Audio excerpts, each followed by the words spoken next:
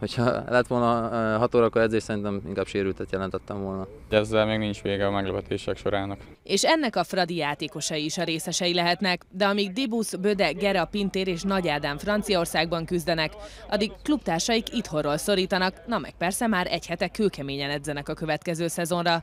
A legjobb hangulatú tréning természetesen a szerda reggeli volt. Kora reggel már mindenki itt volt, feltűnően korán érkezett mindenki.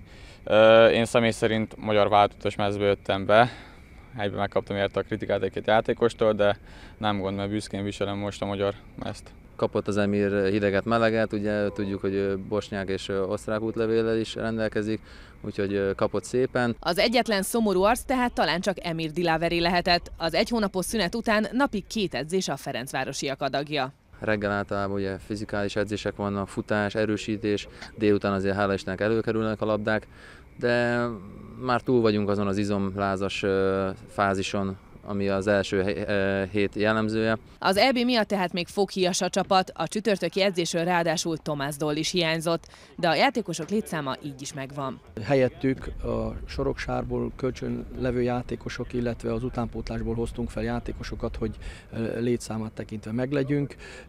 Számukra ez egy nagyszerű lehetőség, hogy megmutassák magukat ez alatt az időszak alatt, és ha valaki olyan teljesítmény nyújt, akkor, akkor akár itt ragadhat a keretbe. Nem szabad szabad egy pillanatra sem kiengedni most, hogy nincsenek itt a játékosok, hanem tényleg ugyanúgy kell dolgozni tovább, hogy a, hogy a BL selejtezőre kész legyen a csapat.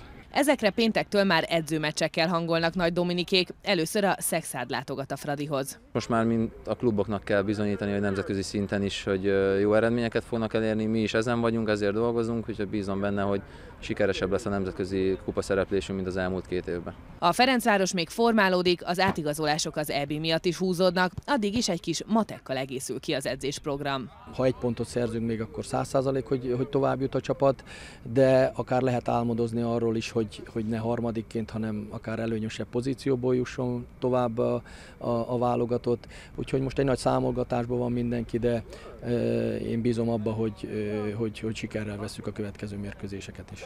Vagyis ahogy Nagy Dominik fogalmazott, a meglepetések sorának szerinte ezzel még nincs vége.